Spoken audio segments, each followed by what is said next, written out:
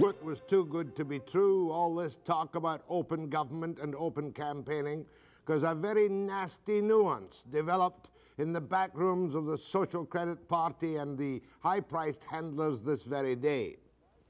And if the boys in the back room have their way, it will mean that all the candidates who've got no mind of their own, those candidates with no minds of their own, will be recreated in the image of charming, smiling Bill Vander Zalm. And if I were in opposition, which I never would be, I would say the campaign is going to be entirely style without substance. What happened was that a couple of prearranged interviews that I'd set up for social creditors to debate with the NDP were cancelled. So I phoned up Aspinall at Social Credit headquarters and I finally got a message relayed to me. Thank you very much, Mr. David Poole. And here's Mr. David Poole's message to me. We are not prepared to advise our candidates to debate opposition candidates. We are quite happy to go on camera with an interview to be preceded or followed by an opposition candidate. We are simply following the Premier's lead in declining to debate Mr. Skelly. And the rule will probably apply to all candidates' meetings too. In other words, for God's sake, don't get involved in a situation where you might commit yourself or your party to one of your own opinions.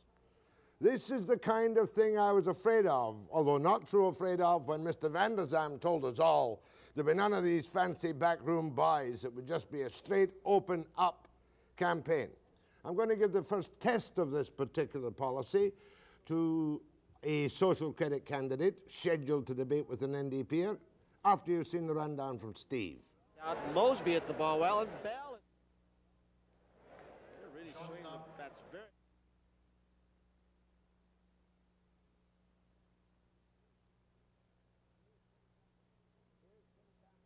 Here's Kim Campbell, the woman who made the best leadership speech at Whistler by a country mile. Are you aware of this advice from Social Credit headquarters not to debate opposition candidates, only to go on an interview by yourself and not, it would seem, to go to all candidates' meetings? No, I wasn't, but in fact, I mentioned it to somebody at headquarters this morning when I was chatting about something else that I was coming down to do Webster, and nobody said anything. So you're quite prepared to interview, to debate with David Vickers? Well, it's not a debate, it's a friendly chat. Well, we'll see how that goes. you, of course, wanted to be leader of the NDP and you failed. That's right. Do you think there might be a vacancy for the leadership soon in view of recent disturbing developments in the NDP and Mr. Skelly? Actually, I doubt it very much, Jack, because we plan on winning and we plan on being government uh, following the election this month. So I don't see an opening. And do you feel like a bit, a bit of an outsider being one of the old Bennett package? Uh, and are you upset at Mr. Vander Zalm uh, lifting the lid on restraint? That's a nice question to answer in 25 words or less. First of all, I don't. 50. Well, I don't know that I'm part of the old Bennett package. I worked for Premier Bennett, and I like and admire him very much. Um, I established last night in my nomination that I am a grassroots politician. I don't owe my support to anybody. I don't owe my support to uh, old timers or party establishment. And uh, as far as lifting the lid of restraint, I don't think the Premier has made rash promises in terms of dollars. I think what he said is that he wants to re examine a lot of the spending priorities that were uh, that existed under restraint. Well, he's lifted the restraint on BCGEU, HLRA, $450 million Island Highway, 13.6 Surrey Memorial, and many others. Take the tax off restaurant meals. Surely, is that the kind of fiscal move you expect when the province has got a current deficit of close to $900 million this year? Well, I think there's a general consensus that the purse strings can be loosened, and there are things that have to be done. The Island Highway is a very good example. I mean, people are just screaming for it, and it's ex extremely important in terms of the economic recovery on the island, the redevelopment and, and resurgence of the tourism Mr. industry Vickers. there. Well, it's, it's interesting that Kim raises the Island Highway because, of course, it was an idea that uh, came from New Democrats. Uh, the, the only part of the idea that the uh, social credit government hasn't uh, taken is the other three quarters of an integrated transportation policy. We talk about an island highway. We also talk about uh, dealing with the ferry situation. We talk about public uh, transportation, improving public utilities, and we talk also about rail. So when, uh, when we speak of transportation policies, we're talking about planning, integrated, long-term, not from the top of your bootstraps for an election. So you Real difference. this $450 million highway is the old Bennett Blacktop to victory, isn't it? Well, I love your slogans. I really sort of can't. I was can't, trained by social credit. No, I mean, the, the, uh, the comprehensive transportation program that Mr. Vickers is talking about is obviously one that involves a much greater financial commitment. What happens when you're in a situation where the public purse is not as full as you'd like it to be is you have to set priorities, and those decisions are very painful. The NDP has the luxury of making promises without having the responsibility of taking the tough decisions. well, you're making promises and may not have the money. I, it's interesting because I'm sure that uh, I, I don't know if you've read the uh, i- the economic strategy for Vancouver Island developed by the NDP candidates, uh, Kim. But the reality is that our economic strategy, four points, don't add up to what uh, Mr. Vander Van, Vander Zalm's going to blow without any planning. But she's There's a half a- distinction, though, between planning and dealing with things off the top of your boots simply for an election to get elected. Well, who says that they don't have anything to do with planning? Well, I don't see any planning in anything that the social credit government's done. Well, maybe you're just not looking for it. Well, it's not there Or to wouldn't- find. wouldn't concede it if it's you not saw even there to find. That's not true. I don't see any social planning. I don't see any planning around women's issues. I don't see any planning around poverty. I don't see a single thing. Well, I mean, I think you're absolutely wrong. We have policies and we have plans. What are your But- plans for women? We have a program within the Ministry of Labor for opening up employment What about, what about for equal women. opportunity? What about equal pay for work, work of equal value? What Well, about affirmative action programs? I don't think that there is a broad consensus in this province for the widespread application of equal pay for work of equal Are value. That, I think, that- is a concept that is very, very complex and very, very difficult, and it's easy. on. It's easy to talk about. You're not Uh, telling me that the women of this province aren't seeking equality and social justice. That's the issue. Of course, they're the seeking equality of social justice, but not, not necessarily in your vocabulary or in equal your pay, terms. equity, equal pay for work of equal, equal value. Who affirmative defines action who- programs. Who, defines what There's the a- equal value is? Well, There's a great deal of work that's being Okay, can I come in and ask a that in the question? field. You were very impressive in your speech and your little rat in your Whistler because you're the only one who seemed to have any feeling for education.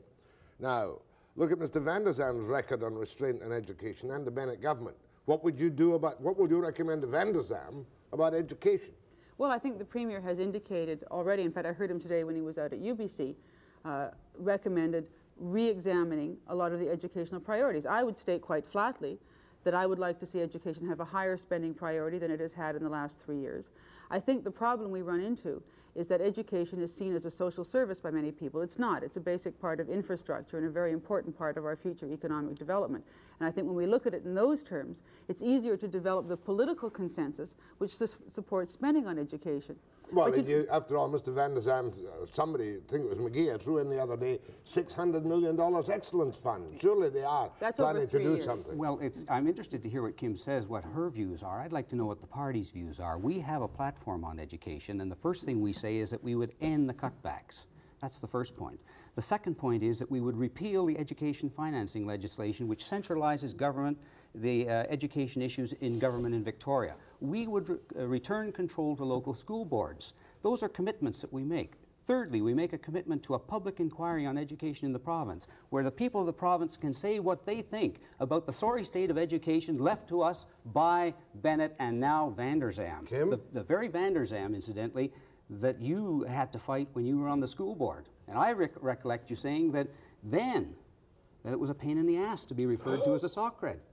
In 1982, You didn't say that, did you? I don't remember, but I used used to say all sorts of intemperate things under pressure. but on education, you don't really have a platform at all, do you? Except this We do have a 600 platform, million but you know, excellence what, thing. What, what muddies the issue in talking about education in this province is the unholy political alliance between the BCTF and the NDP. The BCTF, which provides a considerable amount of funding towards the NDP. I haven't and seen what any that has what that has resulted in is the redefinition of education in this province as a question of money. That the whole process of education is looked at in terms of dollars, and people have gotten totally away from the question of what we're doing in our schools. We're spending more money than ever. This government's record of spending on education is very defensible, but people are still unhappy with what's going on in the schools. So, what I have advocated, and what I advocated very strongly throughout the leadership campaign, was a whole reorganization of our educational planning system. People out there are not happy. The teachers have taken the position through their political organ that it's money and that that money should go into teachers' salaries. I think teachers should be well paid. I think they do a good job. But that's not the whole issue. We're paying them better. They're the highest paid salaried professionals in Canada. That doesn't solve the malaise in our public There's education one system. Van der Zan platform which really worries me considerably as a basic small d Democrat. Maybe vouchers, taxis, your school taxis to the private school of your choice. Would you go along with Well, that I don't in think that- any way, shape, or form? I haven't heard the Premier advocate Twice, that. I've, twice I've asked him. Once he advocated, twice I've asked him.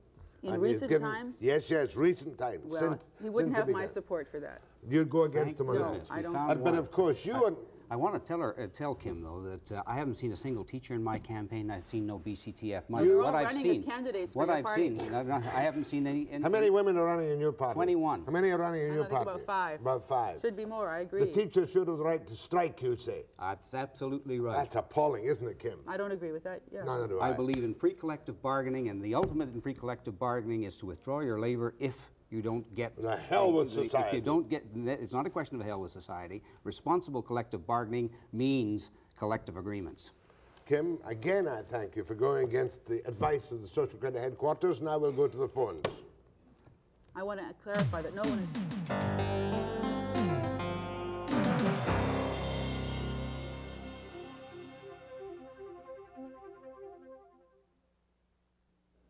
Kim Campbell, Point Grey Social Credit, David Vickers, Saanich and the Islands, correct? That's correct. I just finished the series, eight broadcasts with eight tribal leaders in British Columbia, claiming vast areas of BC.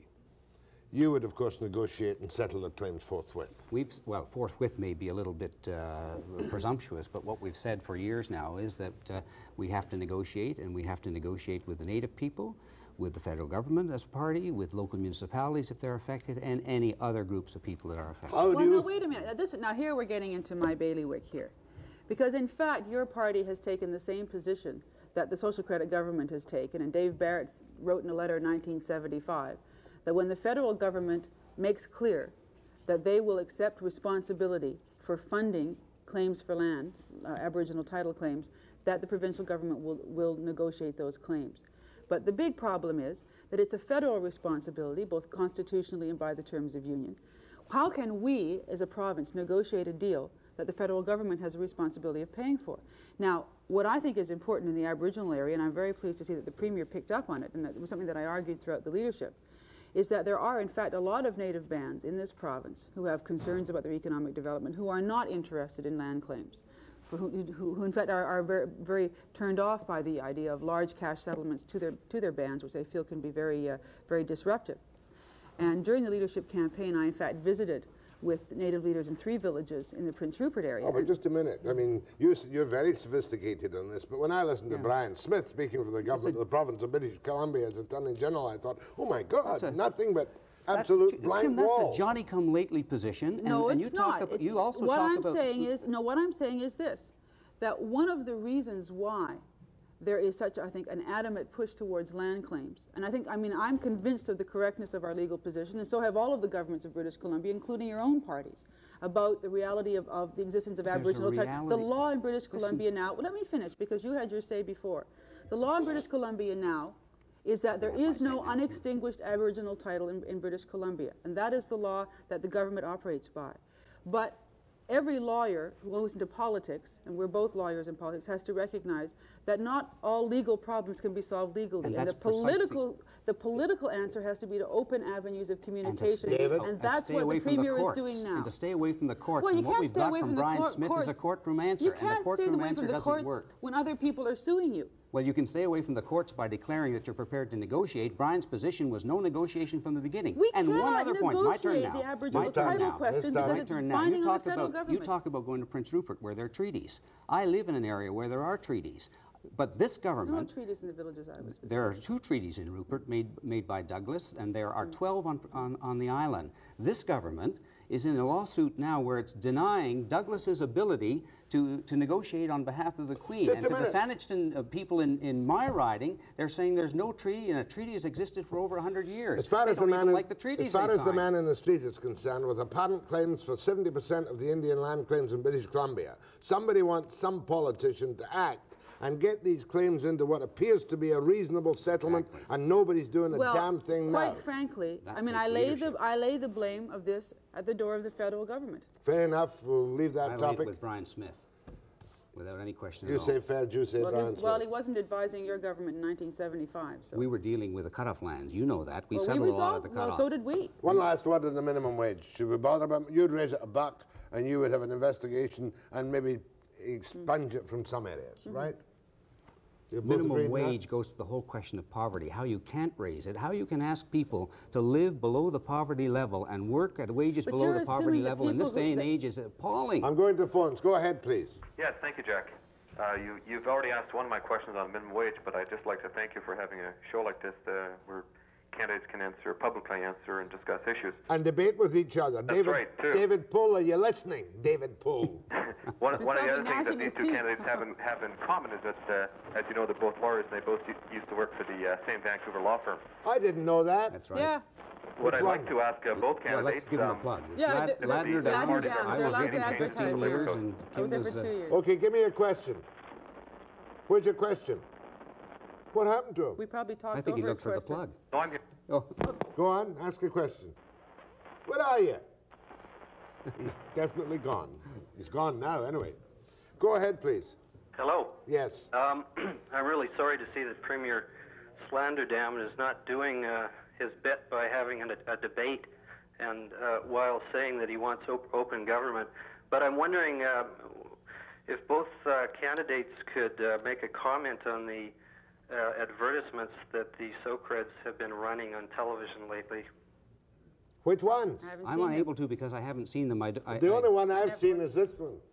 I never I, watched. well, I, I watched the government commercials, which I think uh, are an appalling abuse hilarious. of appalling abuse of public spending. Well, The that's what I call commercial- Socred. Oh, the, oh, well, if you're talking about spending public funds, my money to advertise uh, for the social credit government, that's a breach of trust. Always has been, never will change. And Vander Zalm is doing that, you say? And, uh, and so did Bennett, both of them. Oh, Bennett, they made a career And out Van der it. Zam's doing it with his face now. Change the faces, but there's the same breach of trust. You were in the Premier's office. Yeah, I was. There's no doubt about it. All these They never shot any commercials with me in them, unfortunately. I wonder why not. I don't know. What about the abuse of uh, spending, though? What about the uh, what about sp- spending people's money for advertising social credit government policies? Well, I think in this day and age, television is one of the most important media of communication. Don't you think the But government all the should use people that don't television to vote for you don't want you to spend their money that way. What, what, what about the hundreds of thousands of dollars spent since the last election by the social credit government on advertising in the manner which touts their ministers? You mean you, they should advertise, but they shouldn't mention the ministers' names? Nothing wrong with saying what government services are, but what's wrong? But to tout it and have the minister there, and to have Mr. Vander Zalm up and talking about expo debt that doesn't exist, or if it does exist, somehow it's going to evaporate by waving a wand. Well, that I, is an abuse I can of public appreciate, spending. I can appreciate why of members of the opposition would be aggravated By by, seeing government ministers on television. I but those of people will ministers are there because they are elected by the people of British Columbia to perform a public function. Oh, the and they communicate about that function in a number of different ways. They communicate about it in public meetings with people. They Next communicate question. it through the media. Next question. Oh, there's a guy on the phone, but one question. We don't need conflict of interest regulations, do we? I mean, it's perfectly all right as long as the guy's a successful businessman, just to carry on with whatever he's doing. Is that Well, right? of course we need regulations, but, but they're What very they gonna be? difficult to set down. What you know, we gonna actually had fairly fairly tough ones here compared to other places where they have guidelines Well, because but- the guidelines have no clear legal sanctions attached to I'm them. delighted that you admit that they're fairly tough ones. I happen to be part of the draftsmen of the Well, good for legislation you. from And we wanna 74. toughen them up but little they're more. not tough enough. And, and, and Premier agree. Bennett said there were going to be new guidelines, and Premier They Van are der being is- worked on. I've and seen we want to see them. them before the election, so we have a chance to comment on them. Are they going to come before But the there is election? no- But, What's wrong with but if giving they're, but if they're tougher the than election? the ones that you drafted yourselves, how can you possibly object? I'd like to see them before the Well, election. look at and so Bill would Vander Zalm. He talks about thousands of British decentralizing the Columbians. ALR when he still conceivably has a conflict of interest. Yeah, but he's abandoned any further claims under the ALR. I mean, he's accepted their ruling. He wants a After, he- condo after he's ha- But- but- having but built if- on the on the land, But if he has that, but you know, if he runs into a problem, he'll be publicly accountable for it. Go ahead, please. Oh, I got snubbed. We'll give us more time for phones This after is the hot stuff. We're short-circuiting your telephones.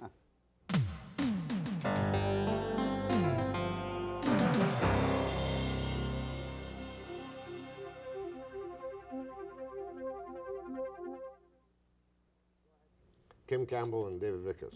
Go ahead, please. Hello? That's you, ma'am. Yes, I'm a Vancouver teacher, and I just wanted to respond to the statement that Kim Campbell made that uh, BC teachers are the highest paid professionals in the country. And I just wanted to state that the BC, Salaried profession. The BCTF has just published figures to show that our salary scales are the lowest of any province in Canada.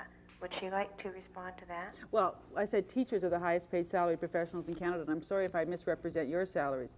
But I do want to say that when you travel around the province, it's very important to recognize that for many people in this province, teachers' salaries represent a level that they just cannot aspire to.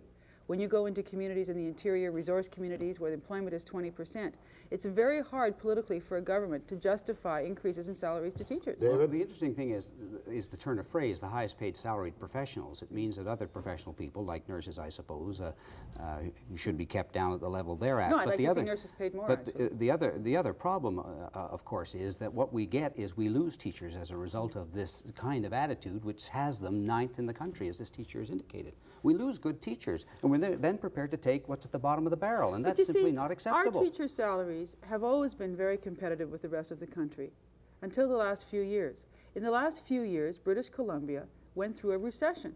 We were the province that was the most hard hit by the recession. And I now hear coming out of Alberta the very same arguments that you're hearing in British Columbia because of the of crisis in the oil industry. recession as well.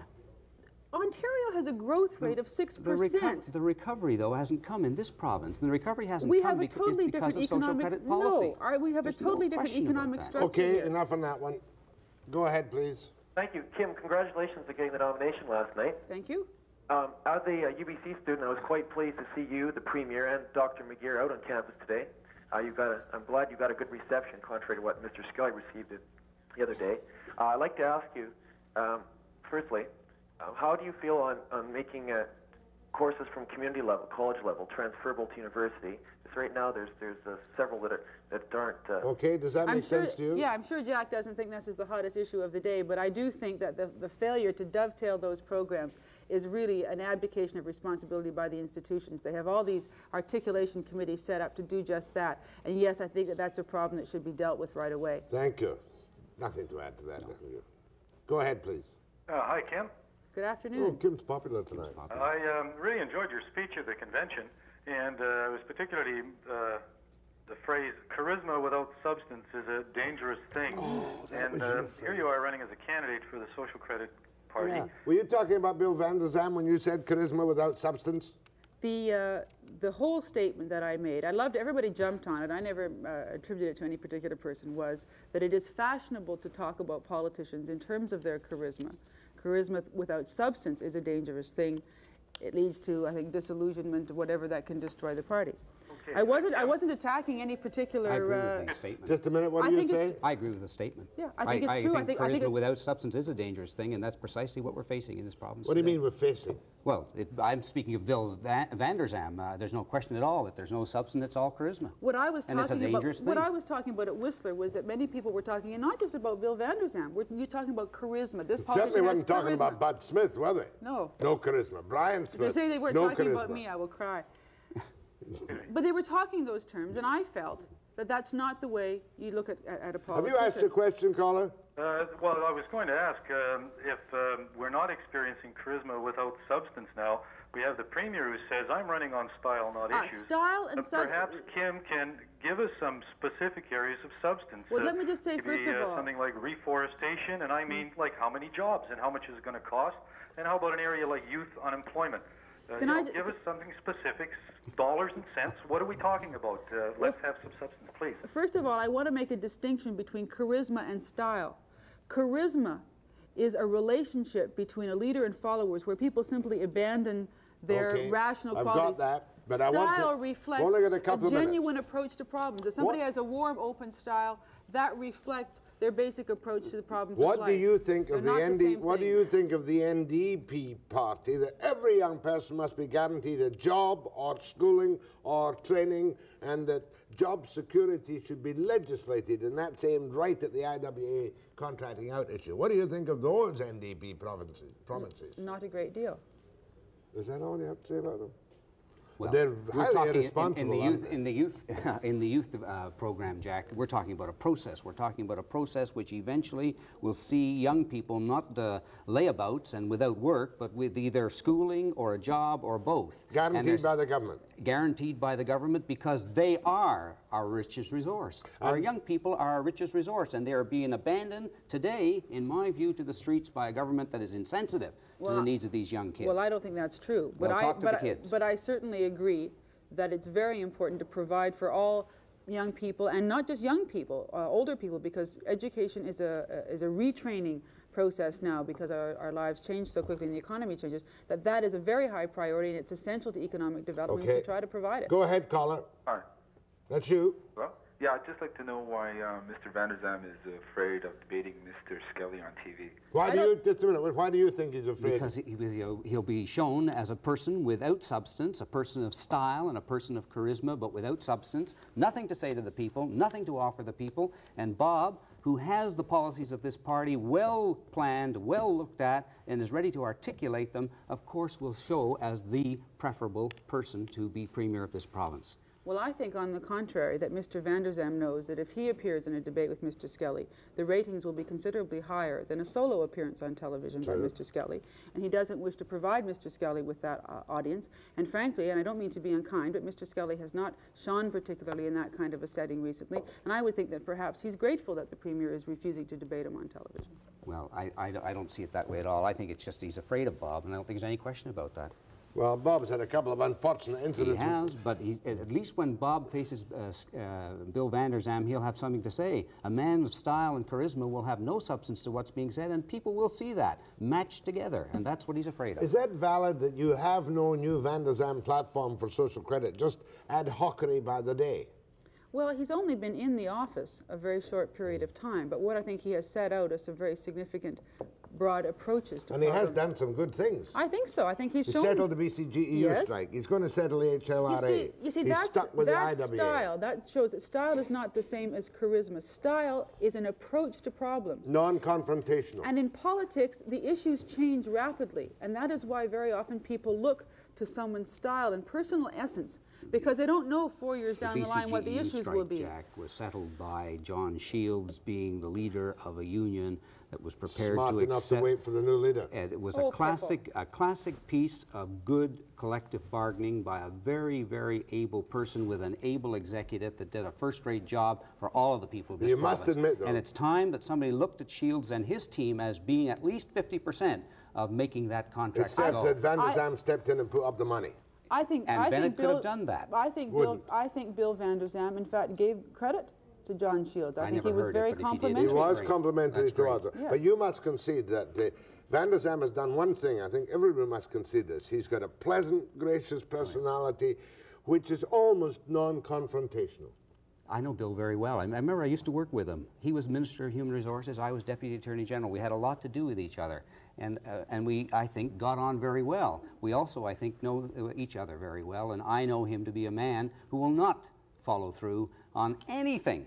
You mean he'd be no this good as. Premier with He power? will not be a good premier for this province, and I, uh, frankly, he'll be a great leader of the opposition, and that's what he's going to be. Last word to you, Kim. Piffle. Piffle, good last word. Thanks again tonight for, because I was perturbed when I had this strange, dreadful advice I from, couldn't David, let you down. from David Poole. I knew you I'll do wouldn't anything either. for a new coffee mug. Thank you very much. You may have a coffee mug. My thanks. Next, Thank you, Jack. Uncle Harry and Gordon Campbell after the break.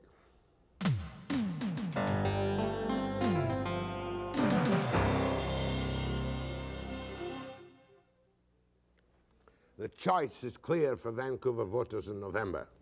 You either go to the bright young man of considerable civic experience, experience as a developer, experience as a politician, or you go to old Uncle Harry Rankin, who's been around a thousand years, 20 years, and who is quite predictable.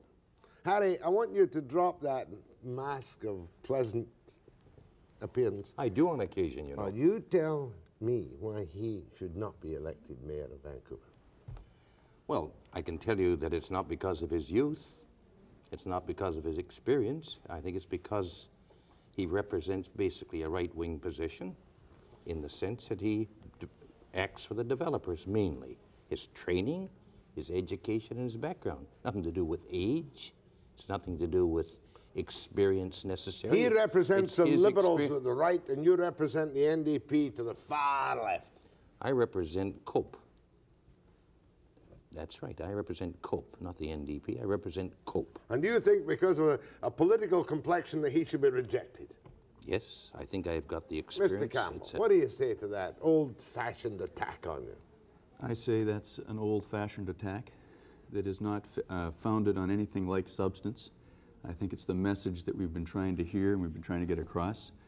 Uh, I think to say that I represent de- developers is nonsense. I think I represent neighborhoods, I represent people, and uh, I'm going to continue doing that. Now, if Rankin becomes mayor, though, what will happen to the city of Vancouver? Will fiscal responsibility go out the window?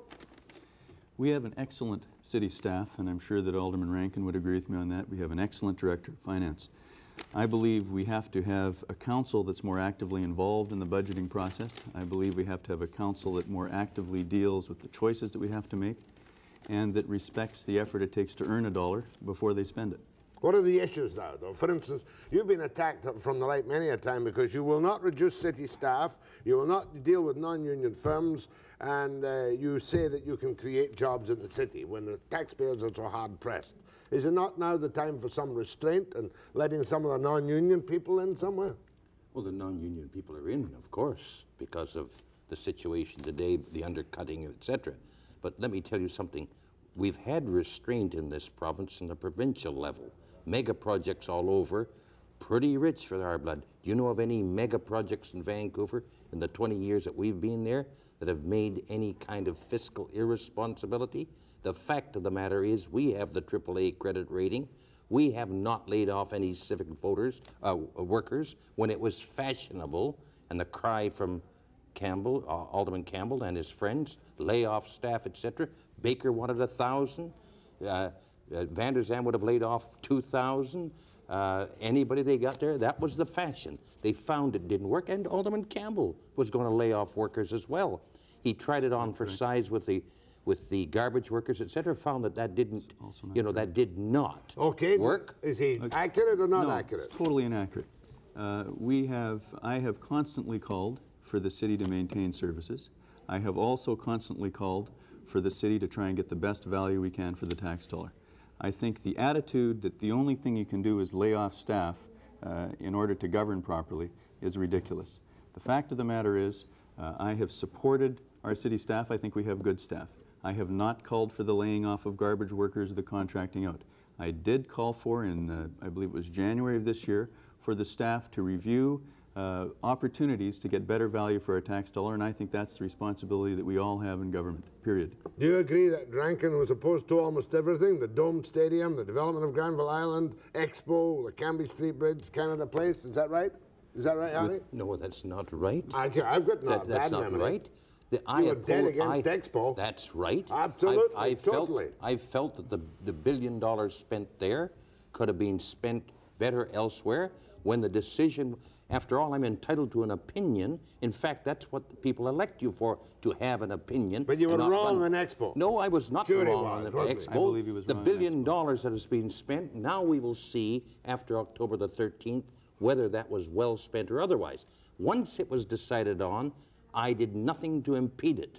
I simply said to the people, you're going to have to look at that billion dollars over the next 25 years And the so. city ain't going to pay none of it. But you were even Aren't they going to pay none of it? The city has paid millions of dollars. On in Cambie Street Bridge? In, no, on policing, roads, garbage pickup, sidewalks. We spent three, four, Did five Expo million. bring any business to Vancouver? Expo course brought it did. a ton of business. and Saved more people from going bankrupt? Well, we, we've created $85,000 in the city of Vancouver in the last 85,000? year. 85,000 jobs, sorry, in the last year. Have we? A great number of that is attributable to Expo 86, City Council report done by the Social Planning Department last Thursday. That has been- 85,000, that would include the in the year, 70,000 uh, That includes the people that are employed by the Expo. Expo.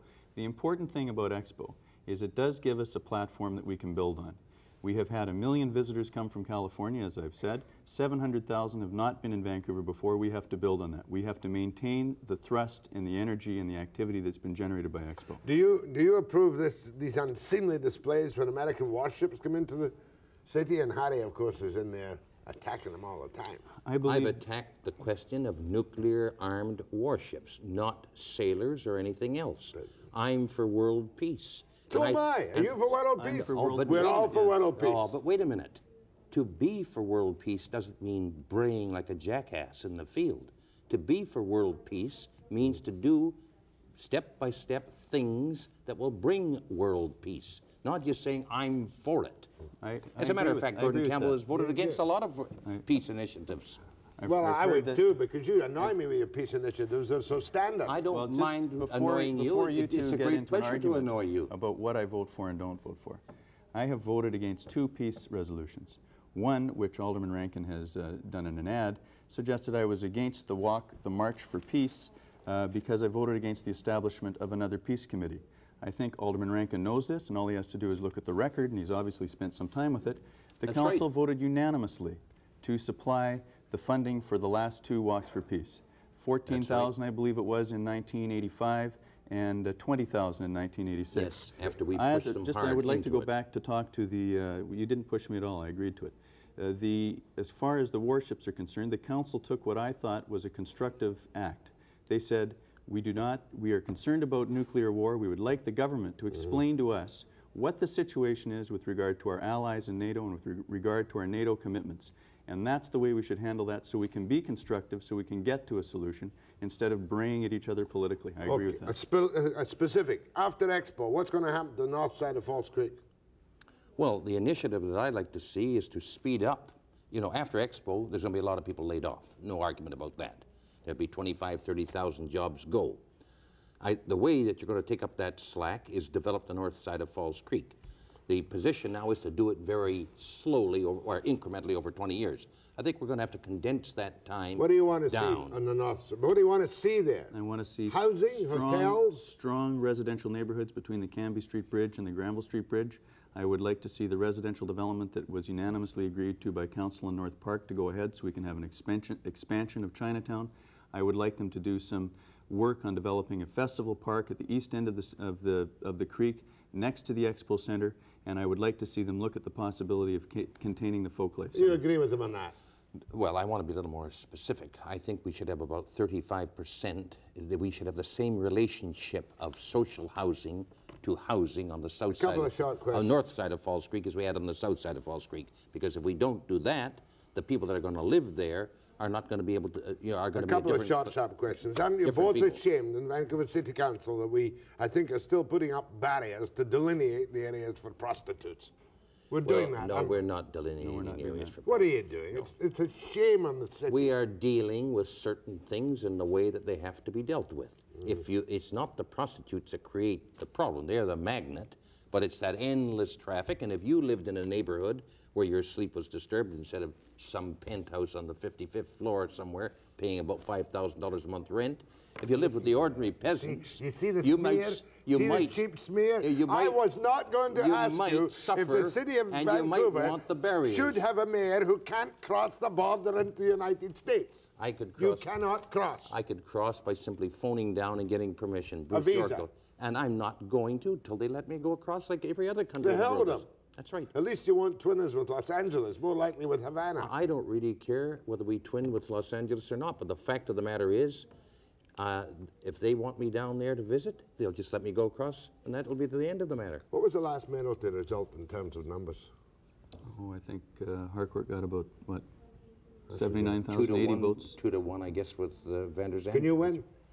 I sure hope I can win. I'm going to work hard enough to win. If you lose, you're finished.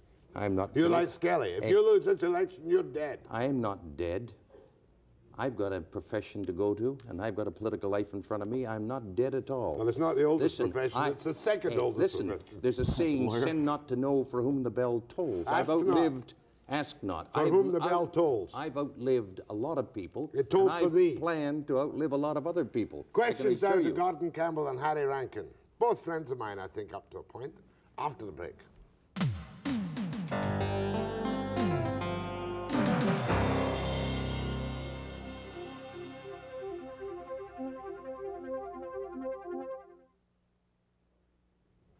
Thirty-eight, Gordon Campbell.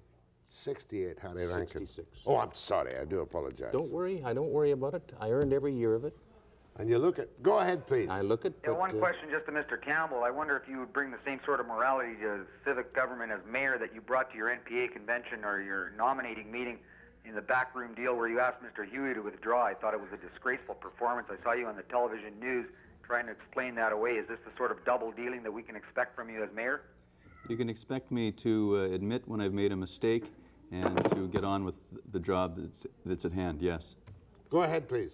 Yeah, um, Mr. Rankin, I'd just like to ask you a question. Uh, Yes. Basically, uh, prior to Expo, uh, you were so dead against uh, the hotels, uh, uh, and you come down on the provincial government for it. I wonder, a man who is so proud of being in there for 20 years, why you would let the hotels get into the shape they were.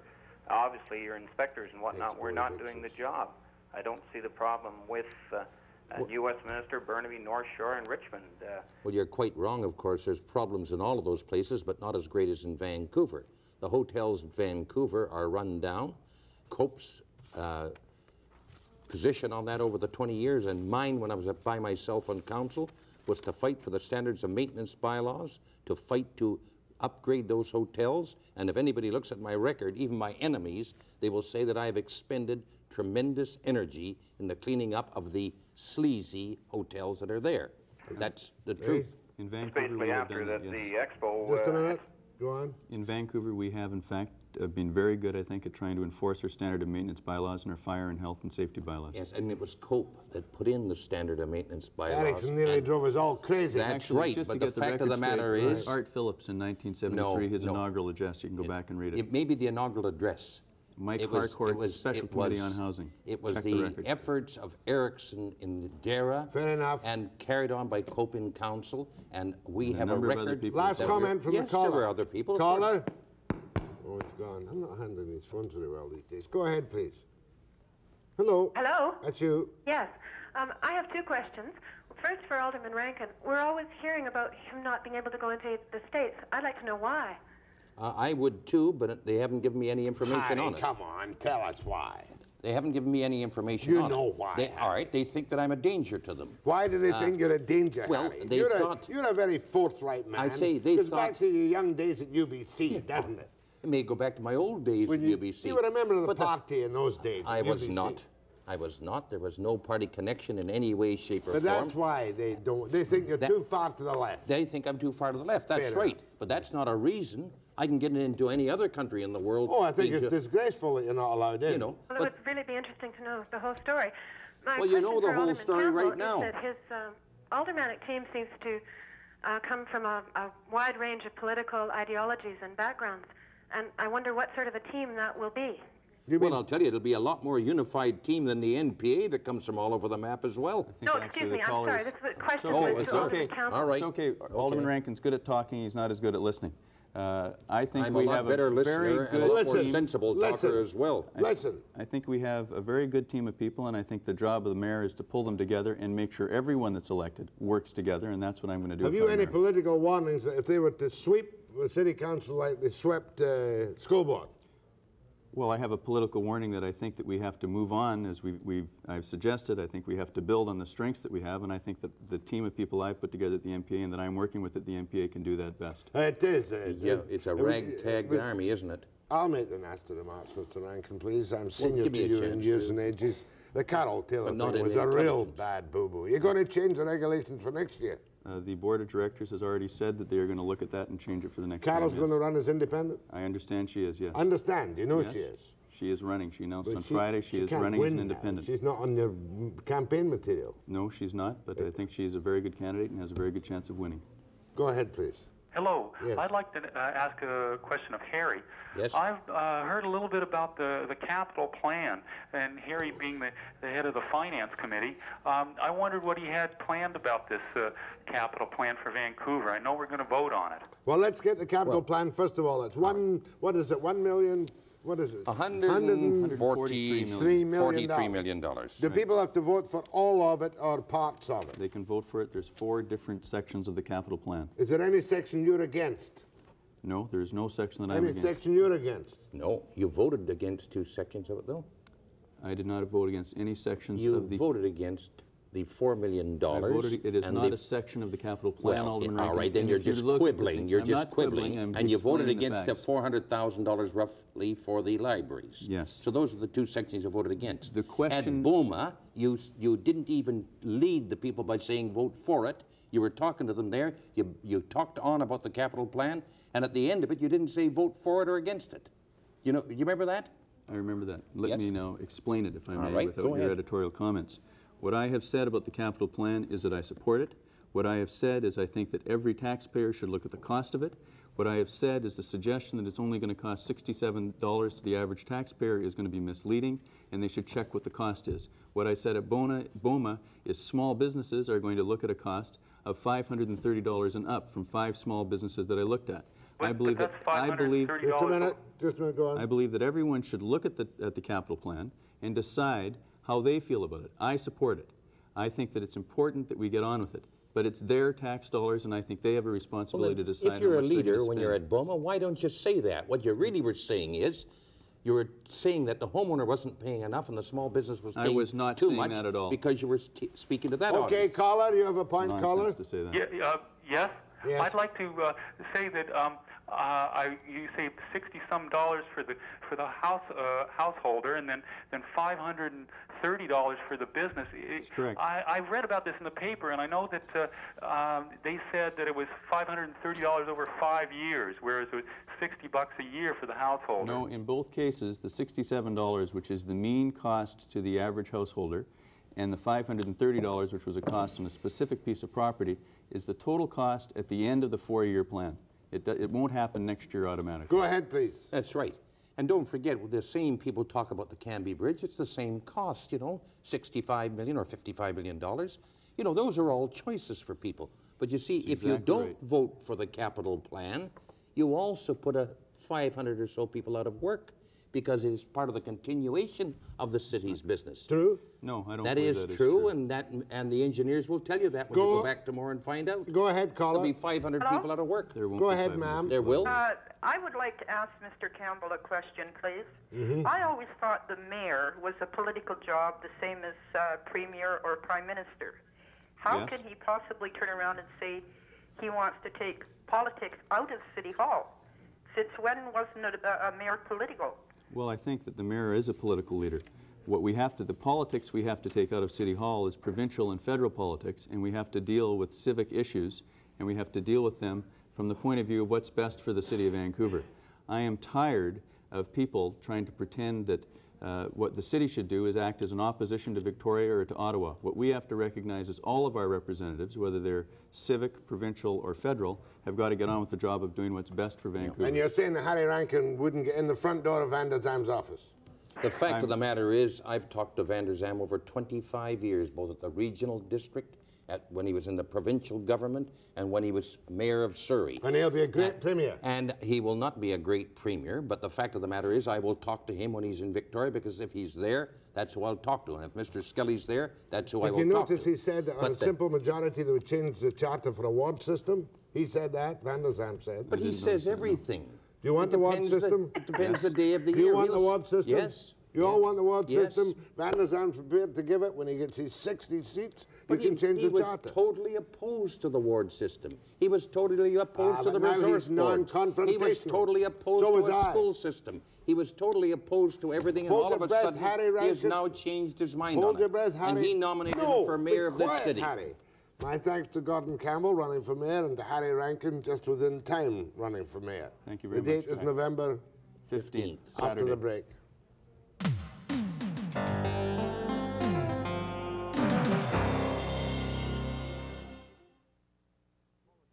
Four bright politicians tomorrow Art Cuby, John Reynolds, Robert Gardner, that's uh, the lawyer Gardner running in centre, Doug Sandberg from Richmond. Should be good fun. We'll give you election material till it's coming out your ears. Tomorrow at 5 p.m. precisely. Stay tuned for the news hour.